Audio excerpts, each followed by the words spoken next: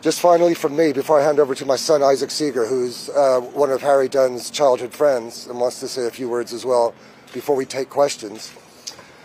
Look, our real enemy here is not Mrs. Sacoolas. We know she made a mistake that night, and, I'm, and I dare say all of us and everybody watching at home has made mistakes on the road.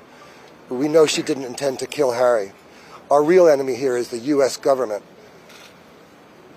who, after Harry's death, instead of coming to do the right thing for this family, decided to kick them in the stomach and continue to kick them in the stomach for three years. And if it weren't for their friends, their community, you guys in the media, and the great British and American public, and millions of people around the world helping us, they would have got away with it. Well, they didn't get away with it today. We all heard the judge's criticisms of the U.S. government.